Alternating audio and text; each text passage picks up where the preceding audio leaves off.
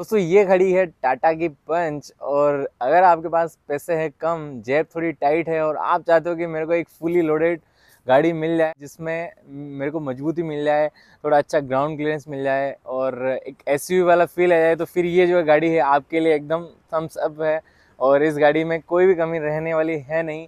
तो इसमें पाँच ऐसी चीज़ें जो मैं आपको आज इसमें वीडियो में बताने जा रहा हूँ। आज कंप्लीट बताऊँगा मैं कि इसमें क्या ऐसी खूबी, पाँच ऐसी बातें हैं जिनको आप कंसिडर कर सक, करके ये गाड़ी ले सकते हो। जो नंबर वन सबसे अच्छी चीज़ आती है इस गाड़ी के बारे में, इस गाड़ी का जो अपील है, इसकी रोड अपीरेंस है, इसका जो लुक है, वो वाकई में एकदम लाजवाब है और इस गाड़ी को आप जो कंसिडर कर सकते हो। और लोग जो है मुड़ मुड़ के देखेंगे इस गाड़ी को, भैया, क्या लग लग रही है? और ऐसा है ना, इसका जो डायमेंशन है वो इतना मतलब थोड़ा सा कॉम्पैक्ट है, पर ये दिखने में काफ़ी बड़ी लगती है और इसकी जो चौड़ाई है वो काफ़ी ज़्यादा है तो ये गाड़ी छोटी कहीं से भी, किसी भी एंगल से नहीं लगेगी। तो इसका लुक एक नंबर है। अगर नंबर दो बात करते हैं तो भैया इस गाड़ी का जो है ग्राउंड क्लियरेंस इस गाड़ी का 188 अप्रोक्स जो है एम का ग्राउंड क्लियरेंस मिल जाता है और उसी के साथ में इसका जो व्हील बेस है, इस तरीके से मैनेज करा हुआ है कि गाड़ी का जो ग्राउंड क्लियरेंस आपको कहीं भी कोई समस्या देने वाला नहीं है।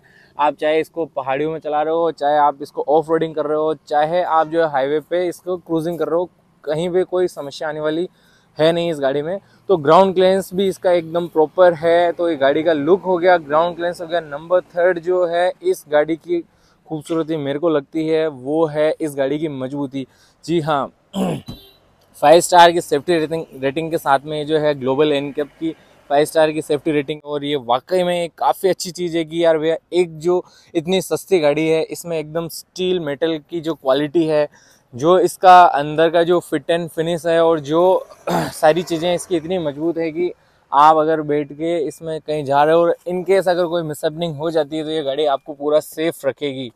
अब बात कर लेते हैं भैया, इस गाड़ी की जो है चौथे पॉइंट की और वो है इस गाड़ी का कमांडिंग पोजीशन जी हाँ आप जो है आराम से क्लियरली इस गाड़ी से आप देख सकते हैं कितना प्रॉपर आगे का बोनट तक दिखाई दे रहा है इस गाड़ी में। तो मतलब कहीं भी कोई समस्या नहीं आने वाली है। तो नंबर फोर इस गाड़ी के जो मेरे को खूबी लगी, वो है इस गाड़ी की कमांडिंग पोजीशन जी हाँ ये गाड़ी मतलब आपको अपराइट पोजीशन में बिठाती है और पूरा फील लेती है कि ये गाड़ी पूरी आपके कंट्रोल में है। तो ये सबसे बड़ा अच्छा पॉइंट लगा मेरे को इस गाड़ी का नंबर फोर पॉइंट जो था कमांडिंग पोजीशन ठीक है भैया? तो ये कुछ चीज़ें थी इस गाड़ी के बारे में जो मेरे को काफ़ी ज़्यादा अच्छी लगी। और रही बात इस गाड़ी की कुछ नेगेटिव्स की तो मैं अगले वीडियो में बात करूँगा। बाकी आपको कैसी लग रही है गाड़ी लुकिंग में? आप देख सकते हैं लुक इसका एकदम शानदार है।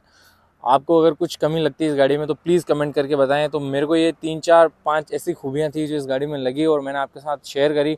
अगर आपको कुछ और भी अच्छी चीज़ लगती है तो आप इस गाड़ी में जो है शेयर कर सकते हैं।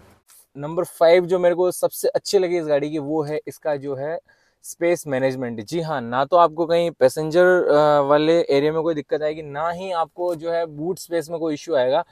तो ये ओवरऑल गाड़ी यार पूरा एकदम शानदार सा पैकेज प्रोवाइड करवाती है। तो इसमें जो हो गया आपका फाइव स्टार की सेफ्टी रेटिंग हो गई अच्छा ग्राउंड क्लियरेंस हो गया अच्छा रोड अपील और अच्छी लुक जो है इस गाड़ी को मिल जाती है। साथ के साथ अच्छा इसमें स्पेस मैनेजमेंट है। तो अच्छी कमांडिंग पोजीशन के साथ में ये गाड़ी आती है और मेरे को ओवरऑल जो है गाड़ी काफ़ी शानदार लगी और आपको कैसे लगी आप जो है कमेंट करके बता सकते हैं। तो दोस्तों वीडियो को यहीं पे करते हैं। दी एंड और ये पाँच चीज़ें जो मेरे को अच्छी लगी इस गाड़ी के बारे में मैंने आपको बताई और कुछ नेगेटिव है इस गाड़ी के अंदर, वो मैं नेक्स्ट वीडियो में कंसिडर करूँगा। अगर वीडियो अच्छा लगा हो तो प्लीज़ चैनल को सब्सक्राइब करें और ज़्यादा से ज़्यादा शेयर करें ताकि आपके कुछ फ्रेंड्स वगैरह जो लेने जा रहे हैं इस गाड़ी को तो कुछ कन्फ्यूज़न हो तो वो क्लियर हो सके। टेक केयर बाय बाय मिलते हैं नेक्स्ट वीडियो में। Thank you